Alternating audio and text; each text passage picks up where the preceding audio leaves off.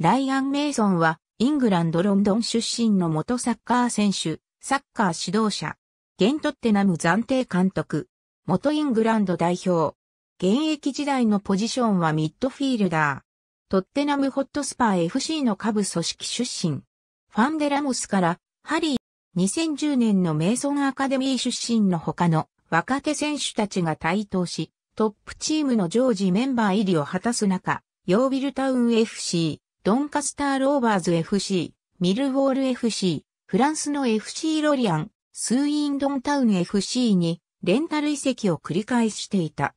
2014から15シーズン、2014年9月24日に行われたフットボールリーグカップのノッティンガムフォレスト戦に交代で出場すると、投入後間もなく30ヤードの距離から同点弾となるゴールを挙げ、3から1の逆転勝利へ貢献したことで、アーセナル FC とのノースロンドンダービーで、プレミアリーグのスターティングメンバーに抜擢され、フル出場した。プレミアリーグ第27節延期分、クイーンズパークレンジャーズ戦では、見事な縦パスで、ハリー・ケインの2点目をアシストした。2016年8月30日、ハルシティ AFCS3 年契約で移籍。移籍金はクラブレコードとなる1300万ポンド。2017年1月22日のチェルシー、FC 戦でガリー・ケイヒルと接触し頭蓋骨を骨折した。完治後は復帰を目指していたが、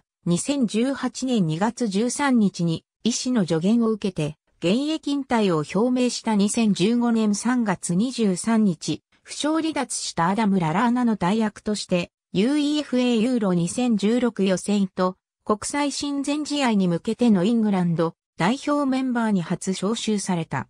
2021年4月20日、前日に解任したジョゼ・モーリーニョの後任として、トッテナムホットスパー FC 暫定監督に就任した。任期は20から21シーズン終了まで。29歳での監督就任は、プレミアリーグにおいて、史上最年少。就任1戦目となった21日のサウサンプトン、FC 戦では2から1で勝利をもたらした。ありがとうございます。